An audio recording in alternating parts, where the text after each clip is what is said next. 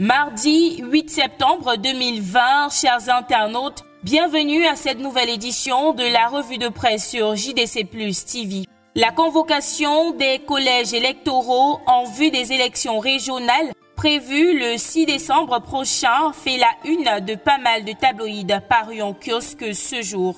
Nous ouvrons avec Cameroun Tribune qui titre Élection régionale, rendez-vous le 6 décembre. Le journal écrit que le président de la République, Paul Biya, a signé le lundi 7 septembre un décret portant convocation des collèges électoraux en vue de l'élection des conseillers régionaux. Dans ses pages 2 à 5, le journal de Marie-Claire Nana nous dit comment va se dérouler ce scrutin inédit au Cameroun, qui peut être candidat, qui vote? Ainsi qu'à ce que vont servir les conseillers régionaux. Et puis, suivant ce décret présidentiel, le ministre de l'administration territoriale, Paula Tangandji, a donné un point de presse sur comment vont se dérouler ces élections. Les points culminants de ce point de presse sont relayés par le quotidien L'Épervier avec cet ultimatum du ministre qui barre sa grande une. Élection régionale, je cite, aucun écart de comportement ne sera toléré de quelque parti que ce soit.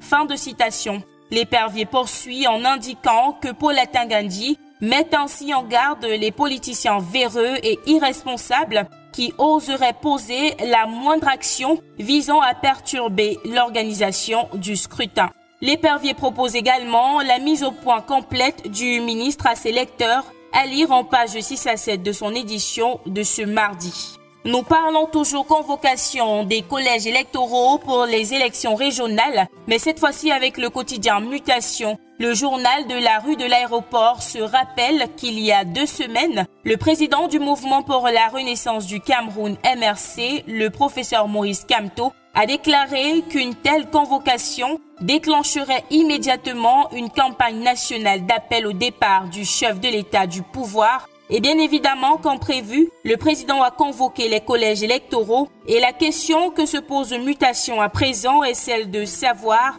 ce qui va se passer d'ici le 6 décembre, date des élections, d'où son titre en une, Bia Camto, le temps des titans. Refermons cette édition de la revue de presse avec le quotidien Le Messager. Comme bon nombre de tabloïds, le journal s'intéresse au régional, mais particulièrement à comment va se déployer le parti au pouvoir, le RDPC, pour ces élections, dans un contexte où, selon lui, le navire du parti est à deux doigts du naufrage.